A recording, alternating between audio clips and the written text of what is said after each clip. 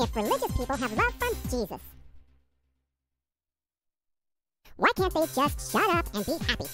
Why are they never satisfied until they force everyone to believe their cray, cray?